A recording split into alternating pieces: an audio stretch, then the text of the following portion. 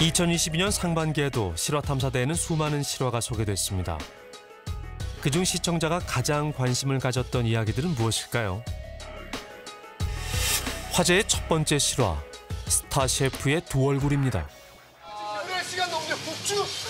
시간까지 예능 프로그램에서 종횡무진 활약했던 정창욱 셰프. 실화 탐사대에 그의 민낯이 드러났습니다. 아, 목을 확 그어버린다. 죽여버린다. 혼자서 막 난동을 피우다가 벽에 콱 찌르고 그 차에서 뛰어내리자마자 달려와서 CP의 목을 잡았어요. 어, 얼굴을 그의 얼굴에 이렇게 들이밀면서 정말 분노에 가득 차고 그렇게 살기가 가득한 입배에서 사실 정말 처음 봐서 칼이 배 앞에 있거나 바로 손시범을 하고 보육서를 하고 뭐 글을 집어던지고 이 어른들 이 새끼는 뭐 앞으로 요리 업계 못 들어오게 한다 서로 부딪혀서 접시가 떨어졌고 깨졌거든요. 이유 묻지 않고 제 뺨을 때렸어요. 눈물 한 방울이라도 흘리면 죽여버린다고. 상상도 못했던 그의 실체에 방송 후 시청자들은 함께 분노하며 큰 공감을 보내주었습니다. 그리고 지난 6월 첫 재판이 열렸습니다. 정차우 셰프가 피해자들을 직접 만나 사과하고 합의하기를 원한다고 언론에 보도됐습니다.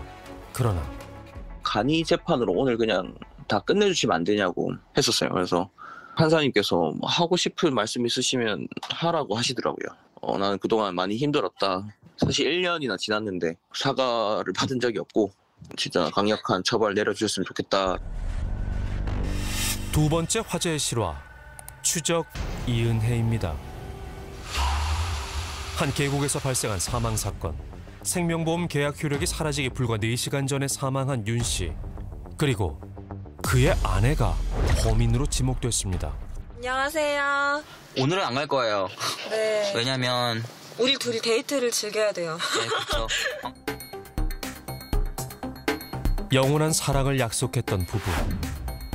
하지만 그녀를 곁에 둘수록 남자의 삶은 무너져 내렸습니다.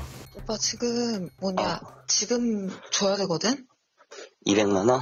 응응 내일 주면 안 될까?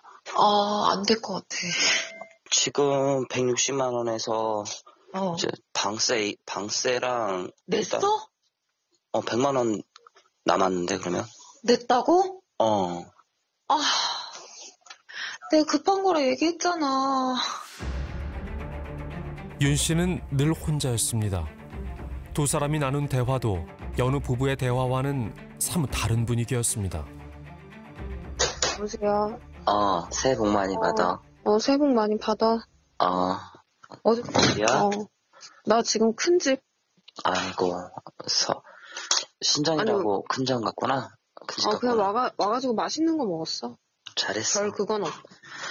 우리 그냥 그만할까? 헤어질까? 이렇게, 좀 지치더라고. 그래서 그냥, 아니 오빠 정말 근데 나 그만 만나고 싶어? 아니, 그런 건 아닌데, 내 힘들게 해서 미안해 너무 돈이 없으니까, 돈이 너무 없으니까, 빚이 너무 많아. 지금 얼마인지도 모르겠어. 한, 오빠 한, 한 7, 8천 되는 것 같은데? 그의 통장을 보면 월급이 들어오자마자 돈들이 빠져나갑니다. 이은혜의 지인들에게 심지어는 대부업체에도 돈이 송금됐습니다. 이은혜가 가져갔을 거라고 추정되는 돈은 모두 7억여 원. 당장 끼니를 때울 돈도 없었던 윤 씨.